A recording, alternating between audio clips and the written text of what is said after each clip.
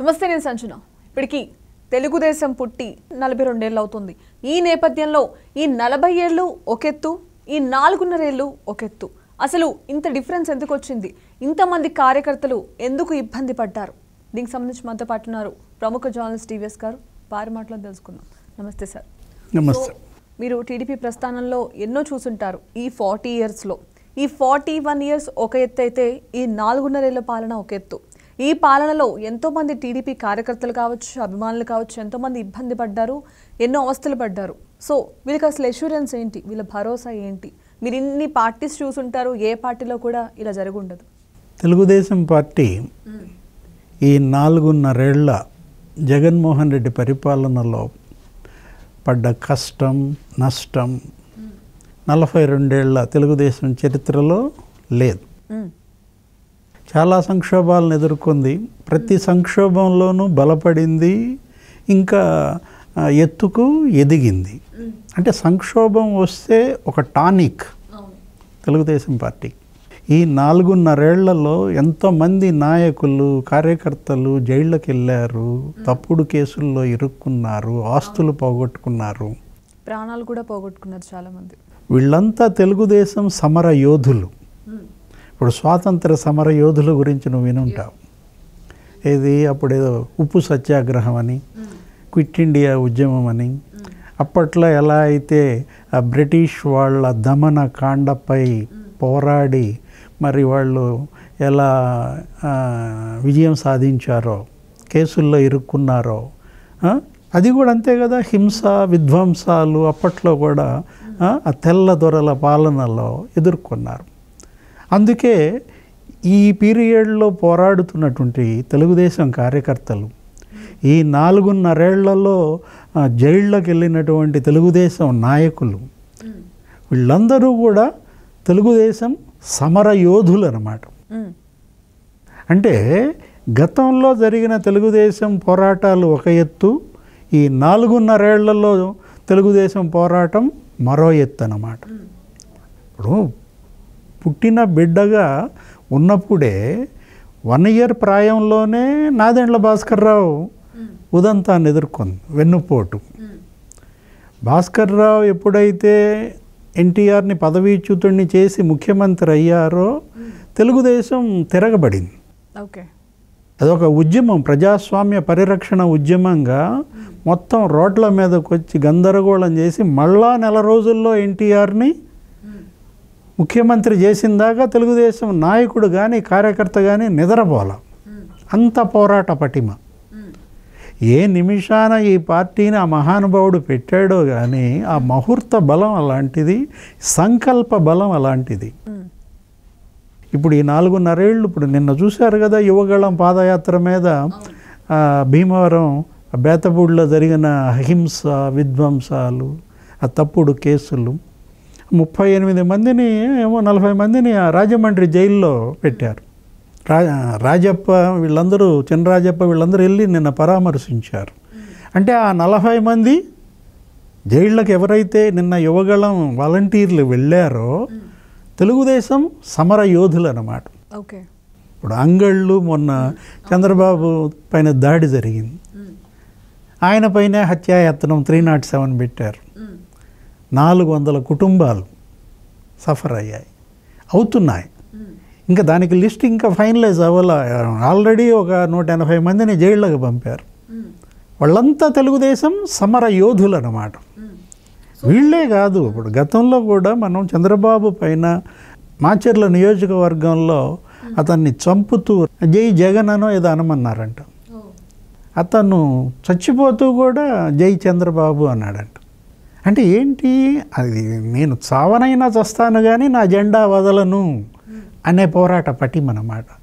పసుపు జెండా తెలుగుదేశం అదొక ఇన్స్పిరేషన్ వీళ్ళల్లో. కార్యకర్తలు అంటే అదొక సైనికులు. ఏ పార్టీకి ఉండదు. ఇంత సంస్థాగత బలం. అది ఎలా సమకూరిందో ఏమో కానీ అది ఎన్టీఆర్ చంద్రబాబు నిజంగా ఆ క్రెడిట్ వాళ్ళకే దక్కుతుంది. మేబీ. ఇప్పుడు ప్రతి కార్యకర్త ఒక కంచుకోటలాగా ఈ పార్టీని కాపాడుకుంటూ వచ్చారు. ఈ నలభై రెండేళ్ళలో మనం గనక చూస్తే ఎవరన్నా గొంతు మీద కత్తి పెడితే జై తెలుగుదేశం అంటారా? జై చంద్రబాబు అంటారా? ఇప్పుడు మనం అంద అదేంటంటే ఆ పోరాట పటిమ గురించి చెప్తున్నాను. వీళ్ళు అసలు వెనక్కి తగ్గరు. కేసులకు దడవరు. ఆస్తులు ధ్వంసం చేస్తారు. తోటలు నరికేస్తారు. ఇప్పుడు మనకి ఆ పల్నాడులో పిన్నెల్లి ఆ గ్రామాలు ఉంటాయి ఆత్మకూరు. కొన్ని వందల మంది బీసీ కుటుంబాలని గ్రామ బహిష్కారాలు చేశారు. అంటే గ్రామం నుంచి వెళ్ళగొట్టేశారు. వాళ్ళ పొలాలన్నీ బీళ్ళు పెట్టారు వాళ్ళ బోర్లన్నీ కోసేశారు. ఎంత ఇన్హ్యూమన్? ఇప్పుడు నీకు తోట ఉంటుంది దానిమ్మ తోటలు లేకపోతే బత్తాయి తోటలు ఈ తోటల్ని నరికేశారు. ఎవరన్నా చేస్తారా పని? ఎదిగిన కొబ్బరి చెట్లని మామిడి తోటని నరకటం అంటే ఇన్హ్యూమన్ కదా! అప్పుడంటే నువ్వు దాని క్రాప్ నువ్వు అనుభవించాలి కానీ అంటే ఎంత పైశాచిక ప్రవృత్తో ఇక అర్థం చేసుకోవాలి. సో మీరు చూసారు సార్ ఫార్టీ టూ ఇయర్స్ ఒక పాలన ఉంది ఈ నాలుగున్నరేళ్ళు ఒక పాలన ఉంది. సో బ్రిటిష్ కాలంలో కూడా ఇలాంటి సిచ్యువేషన్స్ కానీ ఇలాంటి సందర్భాలు కానీ ఏమైనా ఉన్నాయా? లేవు కదా. అది ఏంటంటే అసలు చరిత్రలోనే లేదు ఇంత అణచివేత. సో ఫస్ట్ టైం ఇన్ హిస్టరీలో ఇదే ఫస్ట్ ఇప్పుడు స్వాతంత్రం వచ్చిన తర్వాత ఇప్పుడు డెబ్భై ఐదేళ్ళ అమృతకాల ఉత్సవాలు జరుగుతున్నాయి? ఏ రాష్ట్రంలో అన్నా ఈ పరిస్థితి ఉందా?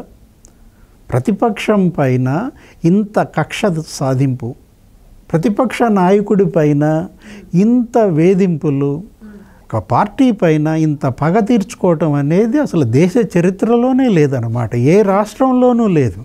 ఇప్పుడు ఏ పార్టీలు ఏంటి? ప్రత్యర్థులు ఇప్పుడు వీళ్ళేంటి? వీళ్ళేం శత్రువులు కాదు కదా. రాజకీయం ఎన్నికల వరకే. ఎన్నికలు అయిపోయిన తర్వాత అందరూ మళ్ళా కలిసి ఉండాలి. ఇప్పుడు ఆ గ్రామంలో ఎవరిదో పెళ్ళి జరుగుద్ది. వైఎస్ఆర్ కాంగ్రెస్ పార్టీ అయినా వస్తాడు తెలుగుదేశం అయినా వస్తాడు మాట్లాడుకోవాలి స్నేహంగా ఉండాలి కదా. అలాంటి వాతావరణం పోయి ఇప్పుడంతా కూడా విద్వేషం ఇప్పుడంతా కూడా శత్రుత్వం వచ్చేసింది దురదృష్టం అన్నమాట. ఏ తెలుగుదేశం కార్యకర్త అయితే ఏ తెలుగుదేశం నాయకుడైతే ఈ నాలుగున్నరేళ్ళలో జైళ్ళకి వెళ్ళారో తప్పుడు కేసుల్లో ఇరుక్కున్నారో ఆస్తులు పోగొట్టుకున్నారో కుటుంబ సభ్యులను కోల్పోయారో వాళ్ళందరూ కూడా త్యాగధనులుగా మిగిలిపోతారు. పార్టీ చరిత్రలో సమర యోధులుగా మారతారు. రేపు మళ్ళా ముఖ్యమంత్రిగా చంద్రబాబు అవుతాడు. ఈ కేసులన్నీ ఎత్తేస్తారు. మూకమ్ముడిగా మొదటి సంతకం దీని మీదే పెడతాడు. ప్రమాణ స్వీకారం రోజే మొత్తం ఇదంతా జరుగుద్ది అనమాట ఏంటి? ఈ నాలుగున్నరేళ్ళ జగన్మోహన్ రెడ్డి పాలనలో తప్పుడు కేసుల్లో ఎవరి మీద అయితే జైళ్ళకు పంపారో ఆ కేసులన్నీ ఎత్తేస్తారు. మనం చూసాం కదా మొన్న కూడా తుని రైలు ఇన్సిడెంట్లో కేసులన్నీ ఎత్తేసారు. సో బేసిక్గా పార్టీని ఇంతమంది నమ్ముకుని పార్టీలోకి వచ్చారు. లైక్ మా కులం అని కొంతమంది వచ్చారు మా పార్టీ అని మా వాళ్ళని చాలామంది వచ్చారు చాలామంది ఇబ్బందులు పాలయ్యారు ప్రాణాలు తీసుకున్నారు. సో ఇలాంటి వాళ్ళకి అసలు పార్టీ ఎటువంటి అష్యూరెన్స్ ఇస్తుంది? వాళ్ళకి ఎలాంటి భరోసా కల్పిస్తుంది? అదే తెలుగుదేశం పార్టీ గొప్పదనం కూడా.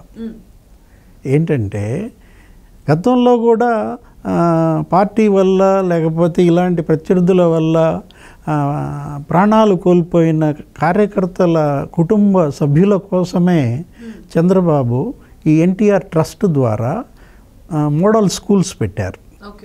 ఎన్టీఆర్ మోడల్ స్కూల్ మీరు వినే ఉంటారు. గడ్డిపేటలో ఉంటుంది అక్కడెక్కడ చల్లపల్లిలో కూడా ఉంటుంది.